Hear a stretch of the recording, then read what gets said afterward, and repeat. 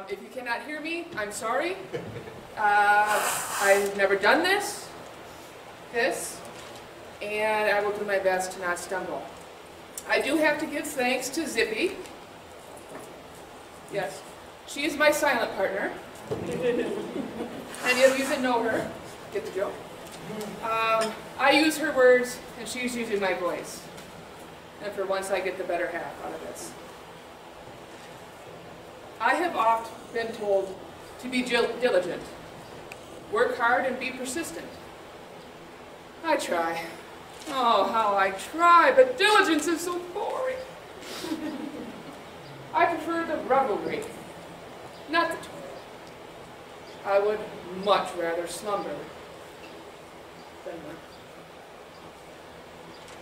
I only make a hard, concerted effort when there is a good mead or a fine wine.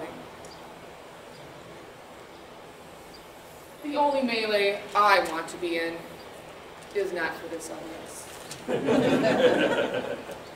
I am diligent in my prayer. My prayer for asylum from drudgery. Deliver me unto merriment, so that I may partake of the wassail.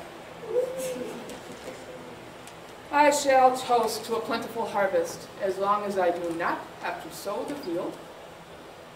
I shall toast to good health as long as it is not a pious life. I salute the irreverent, the jolly, the mirthful, the ones carrying joy in their spirit. These are my kinsmen, my companions in life. So I will be diligent.